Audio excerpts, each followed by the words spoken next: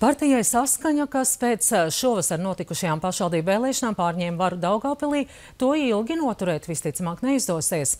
Par aiziešanu no koalīcijas ir paziņojis politiskā spēka mūsu partiju vadītājs un domas priekšstādātāja vietnieks Rihards Eigims. Un tas nozīmē, ka jau tuvākajās dienās no amata varētu tikt gāsts saskaņu pārstāvošais domas priekšstādātājs Andrejs Elksniņš. Un par to vairāk Kārlis Ruķis. Par to, ka Daugopilī varētu būt gaidām varas maiņa, vēl svētdien vēstīja Latvijas televīzijas raidījums de facto. Šodien par aiziešanu no koalīcijas līdz ar pārējiem frakcijas biedriem paziņoja domas priekšsēdētājiem vietnieks Rihards Ēgims. 22. augustā bija tikšanās ar uh, priekšsēdētāju Elksniekungam, kur viņš pateica man, pirmam vietniekam, ka viņš negrib ar mani strādāt, ka viņš man netic.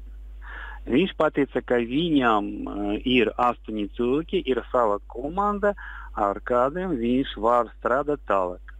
Es eju pie, savi, pie saviem deputātiem, visu šo problēmu pastāstīju, un mums nebija citu variantu. Nu, mēs aizējām. Jūs pieļaujat, ka faktiski pēc tās jūsu aiziešanas no pašreizējās koalīcijas tad uh, sekos arī nu, šī mēra nomaiņa. Ja? Uh, jā, tas nozīmē, ka jā, Daugupīlī nomaina priekšētāju. Tikmēr Daugopils mērs Andrejs Elksniņš neusticību Beigimam skaidro ar viņa rīcību atsevišķos pašvaldības jautājumos, tiesa kuros neatklāja. Vienlaiks viņš atzīst, ka viens no neusticības iemesliem bijusi Eigima un bijušā Daugopils domas vadītāja Jāņa Lačplēša tikšanās Rīgā ar Zaļo un Zemnieku savienības frakcijas vadītāju Augustu Brigmanu un zemkopības ministru Jāņu Dūklau.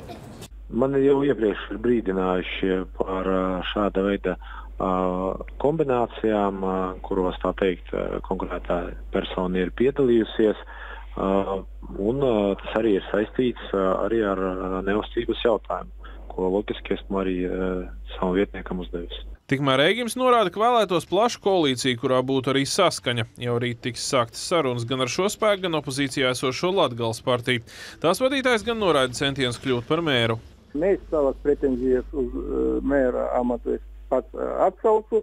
Piedāvājam meklēt cilvēkus, kas var organizēt darbu pilsētas un pilsētnieku interesēs. Dome tomēr pašvaldības dome ir institūcija, kur jāstrādā un jārisina pirmkārt saimnieciskas dabas problēmas, jāstrādā pilsētnieku interesēs, nevis jānodarbojas ar klaju politisko propagandu.